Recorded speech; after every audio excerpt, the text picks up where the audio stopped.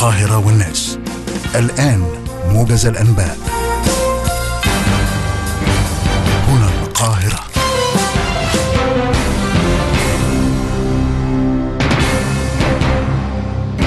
سيداتي أنساتي سادتي خالص تحياتنا التي لا تعد ولا تحصى. وإليكم العناوين.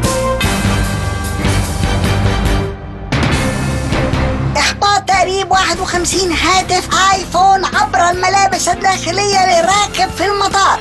رئيس الوزراء يتابع مع وزيرة التضامن الاستعداد لدعم الأسر الأكثر احتياجا. رئيس الوزراء يدعو المجتمع الدولي للتعاون المشترك لتكثيف مصادر تمويل الإرهاب. تفاصيل الأخبار بعد الفاصل. إليكم تفاصيل الأخبار.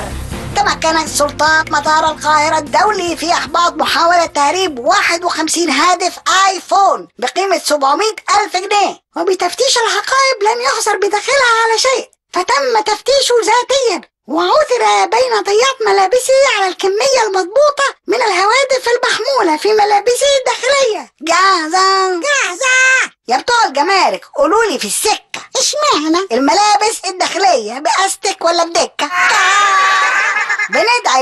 للراجل يعدي من الشدة. اشمعنى؟ حط تليفونات أصله خايف على العدة.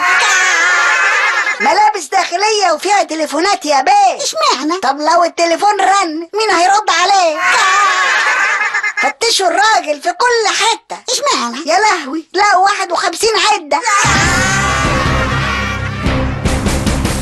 التقى المهندس شريف إسماعيل رئيس مجلس الوزراء غادة والي وزيرة التضامن الاجتماعي لمتابعة استعدادات الوزارة لمساندة الأسر الأكثر احتياجا على مستوى المحافظات. بالتنسيق مع الجهات المعنية سواء الوزارات أو منظمات المجتمع المدني. جاهزة؟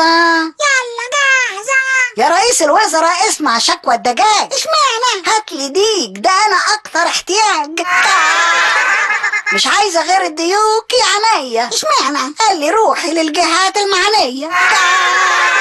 وزيرة التضامن ست ولا ألف ست. اشمعنى؟ شكت لها من ديكي. قالت لي اسكت يا بت.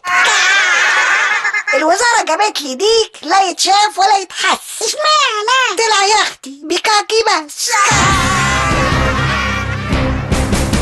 قال المهندس شريف إسماعيل أن مصر تعمل على تطوير الخطاب الديني لمواجهة التطرف الذي يبثه الجماعات الإرهابية. فضلا عن الحرص على إنشاء منظومة تعليمية وثقافة تركز على إخراج إنسان ينبذ العنف والحرص على البناء وليس الهدم. جاهزة جاهزة يا رئيس الوزراء أنا بس بفكرك. اشمعنى يا ما نفسي نعمل تعاون مشترك. هيجففوا تمويل في كل حالة. اشمعنى؟ هيحطوه دورتين في الغسالة.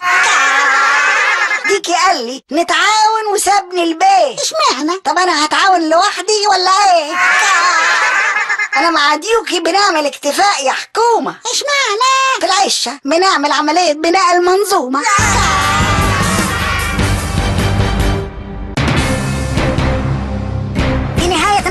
إليكم أهم ما جاء بها. إحباط تقريب 51 هاتف آيفون عبر الملابس الداخلية للراكب في المطار. رئيس الوزراء يتابع مع وزيرة التضامن الاستعداد لدعم الأسر الأكثر احتياجا. رئيس الوزراء يدعو المجتمع الدولي للتعاون المشترك لتكثيف مصادر تمويل الإرهاب.